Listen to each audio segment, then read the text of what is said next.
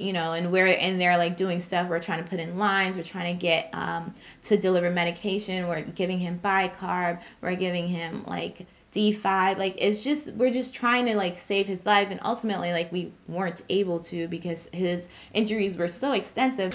Doing my dance, hey, I'm doing my dance. Don't mind me. What's up, you guys? It's Adanna. Welcome back to my channel. Thank you guys so much for joining me on this journey. If you haven't already done so, take some time, look at my channel, see if you like what you see. And if you do, continue to join me and support me by hitting that subscribe button and also the notification bell so you can know every time that I come out with a new video. This video is going to be the juicy details on everything that I did in my ICU rotation. So I did my ICU rotation as my inpatient medicine rotation. Uh, it was one of the core rotations that I required for graduation through PA school. And I chose ICU because I figured that it would be pretty intense and I would learn a lot. And I was absolutely correct. So, um, in my ICU rotation, they worked three 12s a week, which is pretty, it was like when you're dealing in the ICU, like that's a lot. Honestly, like it's a lot. It's it's a whole lot. Like it's very, very, very draining um, being in the ICU. And I swear, like those three twelves felt like I don't know,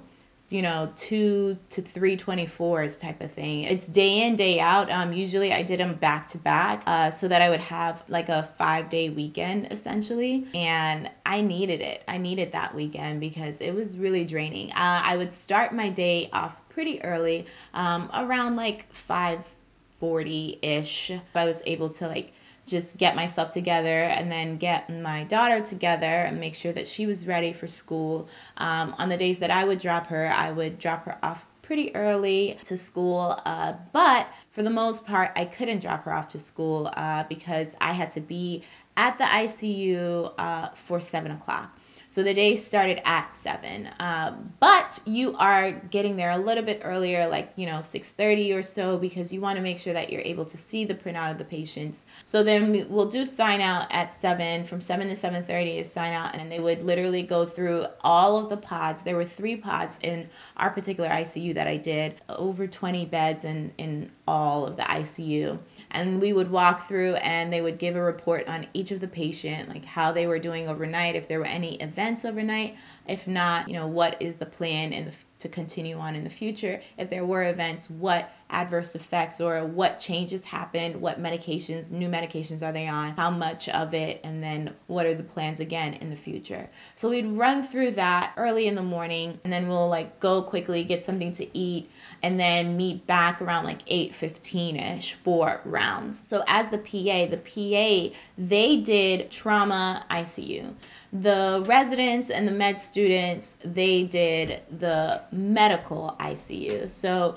they dealt with the medicine aspect of things because they were all like internal medicine residents and then you know the med students that were coming from that school as well. They went to the medical aspect of it. Um, the PAs and the PA student, myself, we did the trauma ICU. So the majority of the patients that we saw were trauma related. However, I did, like I said, all the time, like you guys have to carve out your own learning experience.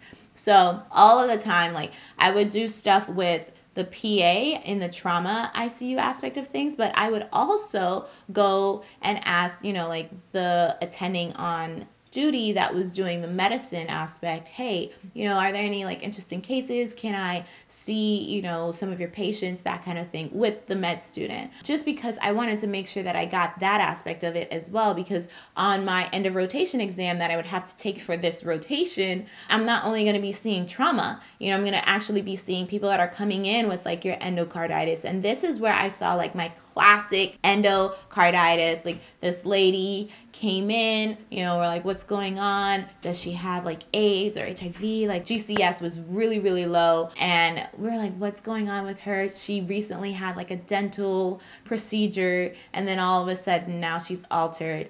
And then we do like a CT scan and we see like these lesions on her brain. Like, you know, we're like, what is going on? And it came back to be endocarditis. And so, classic endocarditis, I would not have been able to see that had I only been doing my trauma.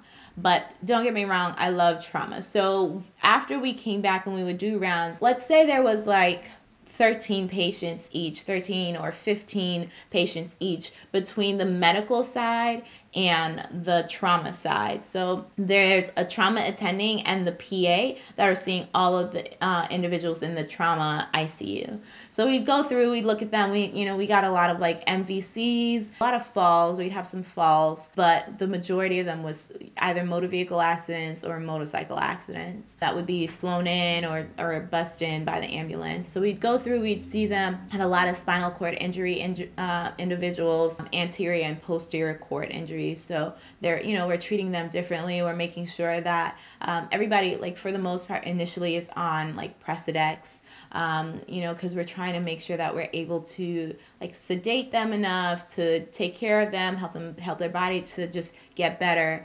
Um, but also at the same time making sure that you know they're not super agitated because if they have a trach in or if they have a peg in or if they have the tube the et tube or something like we don't want them like fighting us off. So that was like all all of that. And in the icu like you have to be really good with like acid base disorders because you know a lot of these people are on like the ventilators and so you're trying to make sure like hey, like, do we need to up the PEEP or lower the PEEP? Which are all things that I'm still like super vaguely familiar with. Uh, I still need to do a lot more learning. I'm sure if I had more experience in the ICU, I would get that. But those are things that they're talking about. As we're going through our rounds and we're seeing each patient, maybe a patient needs central line placement or an arterial line placement or a bronch so these are the procedures that the PA would do. And we also had one NP that was working in the ICU as well, but the majority of them were PAs. And I like, this is where I got the most of my experience. It was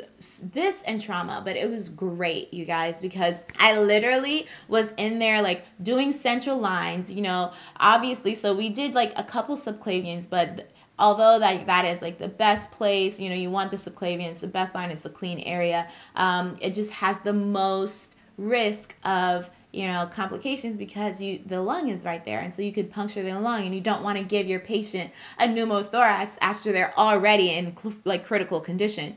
So they used um, we got really good i got really good at using the ultrasound. So they did a lot of ultrasound guided like femoral lines as far as arterial lines go that was just like freehand sticking. You know like you touch you palpate you feel the radial artery and then you put the line in. Once you see that blood come up into like the little catheter needle and then it will go back down and then you know that that is you're in the right spot. You're not in like a vein you're in the artery because you'll see it pulsing as well. It was pretty cool. I love that. I got you know initially like i was kind of shaky on arterial lines. I'm like man like where is it? But then i would get it and i was like it so excited about that. Um, and i also like i said got to do a lot of femoral lines like super a lot obviously it's not like the best place. You only want to leave it in there for like what maybe about three days. Like we don't we try not to leave the femoral lines in there very long. I think it was three days that they were were doing it because it is a dirty area. So we'll put in the femoral line to make sure that they're able to like get their medications or things like that um, that we can draw from because there are some lines that you can draw from. But apart from that uh, it it's out in like two days uh, and then we try to do something else. And I got also really good at doing PICC lines with ultrasound as well. So I had a great experience with that because once we did our rounds, then it would be like, okay, these patients need lines, this patient needs to be bronch, this patient needs this or that. And we would go through and we'd run through all of our procedures. And for the most part, the procedures time, like, you know, we'd go through our rounds and let's say we're doing rounds from like 8 to 11 and so we would start maybe a procedure around 11 we go take lunch at 12 um, then we'll come back and finish off all the rest of our procedures. As a pa student we're not able to do any notes on the patients that we've seen, but you know, the PAs and the physicians have to write up notes. And so the rest of that time, like from maybe three on to seven o'clock at night, because they're 12 hour shifts, they would be doing notes. And, you know, if we have like an, a patient on the fourth floor who's like in our intermediate ICU, then we'd go up there. But it's like, it's just kind of after the morning rush of things the evening is a little bit more of a lull and that's when I'd be like, okay, so can I go see like the medical patient or I'd go study or things of that nature. But it was really interesting. I mean, there would be times when you'd have a trauma bust in downstairs in the trauma unit, and then we have to go see them as well because likely they're coming up to the ICU. So that was also something like anytime like traumas were called, depending on the level of the trauma, we'd have to go down to the emergency department or the trauma bay and see those patients as well because we'd likely see them. And I distinctly remember like a one case I got in there, it was like a Sunday morning, very early, and there was a trauma called. All of you know the ICU had to go down there, like our trauma ICU had to go down there. We were literally going through like just kind of giving this guy bicarb and stuff because he was a motorcycle accident and like there was just so many broken bones, nothing that was open but essentially he was just losing volume you know and we're in there like doing stuff we're trying to put in lines we're trying to get um, to deliver medication. We're giving him bicarb. We're giving him like D5 like it's just we're just trying to like save his life. And ultimately like we weren't able to because his injuries were so extensive. But that was like literally 7:30 in the morning. We didn't even get to complete our you know our rounds or sign out. We literally just had to run down there and do that. For those of you that are interested in critical care if you're excited about like you know just doing procedures and then kind of also having that rush of adrenaline and things like it's it's a good option for you. Critical care is a good option. It's very stressful though because your patients are critically ill but it is a good option. So you know just look into it a little bit more. But that would pretty much be my day. I literally started at 7 i would end at 7 ish sometimes you know like something might happen to a patient and then we have to go a little bit later into like 7.30 or sign out might go a little bit later but i did the majority of my shifts were during during the day because they didn't have like an overnight suite for the PA students, only for the PA. I learned a whole lot. I learned how to really do my uh, my procedures. I did like suture on, on that rotation, but not really a lot. Like the suturing wasn't like what I did on my trauma rotation where I'm actually suturing up lacerations. It was more so like a like a drain stitch for the anchoring of the central line. And, and that's really like the extent of the suturing that i did. But i also got to see a lot of uh, intubations done a lot of like people on ventilation. So learning how that machine works and you know what happens if I up this, up, lower that, like all of that stuff. So, um, if you were a respiratory therapist and you still want to be in that role, then the ICU, being an ICU PA, is for you. If you kind of want that like adrenaline, it's also for you, but yet you'll still get a few minutes of downtime. So, those are some good options for you to look at um, if any of you are interested. If you have any other questions for me, you know what to do. Leave it in the comment section below. Uh, if you haven't already done so, subscribe and follow me on Instagram at Adanna PA. And thank you guys so much for watching. I will talk to you guys next time. Bye.